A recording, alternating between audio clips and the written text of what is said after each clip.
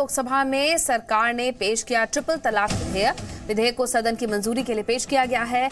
आपको बता दें कि लोकसभा में पेश ये जो बिल है, मुस्लिम महिलाओं को एक साथ तीन तलाक के खिलाफ संरक्षण देगा और इसीलिए ये विधेयक लोकसभा में पेश किया गया है। तो रवि त्रिपाठी हमारे सहयोगी जुड़ गए हमारे साथ। रवि, क्या अपडेट है?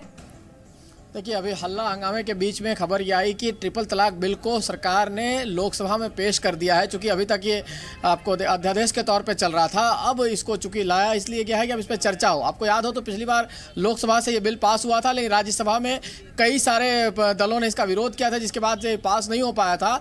कई सारे चेंजेस किया गया। जब इसमें अध्यादेश लाया गया तो कई सारे चेंजेस किए गए थे। तो अब कई चेंजेस के साथ जो आपत्तियाँ थी विपक्षी दलों की, उनको कहीं ना कहीं इसमें एडजस्ट किया गया और उसके साथ ये बिल लाया गया है। तो अब देखना है कि लोकसभा में किस तरह से इस बिल पर चर्चा होती है और अपोजिशन पार्टी का क्या रुख रहता है। क्योंकि कई सारे जो इसमें प्रावधान थे, उसको लेकर ऐतराज था कि अगर वो जेल जाएगा शख्स ट्रिपल तलाक के बाद तो उसके घर के क्या होगा?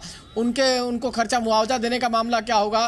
कैसे सारा फॉर्मूला तय होगा? इसको लेकर उस समय आपत्ति जताई गई थी। हम्म। हालाँकि कांग्रेस कह रही थी कि ये होना चाहिए लेकिन इसमें कुछ सुधार होने की ज़रूरत थी। तो इन सारी चीज़ों में सुधार किया गया सुधार के साथ इस बिल को अब लाया गया है कि मुआवजे का क्या होगा कैसे डिस्ट्रिक्ट कलेक्टर जो होगा डीएम जो होगा उसमें उसको अधिकार क्या होगा तमाम हम्म, चीज़ों के हम्म, साथ अब बिल को लाया गया है। तो अब माना जाए कि इस बिल पर भी हंगामा होगा विपक्ष इसको लेकर हंगामा करेगा इस पर चर्चा भी हो सकता है लोकसभा से पास करना आसान है लेकिन राज्यसभा में क्या ये बिल पास हो पाएगा दोबारा ये सोचने वाली बात होगी। बिल्कुल शुक्रिया रवि जानकारी देने के लिए।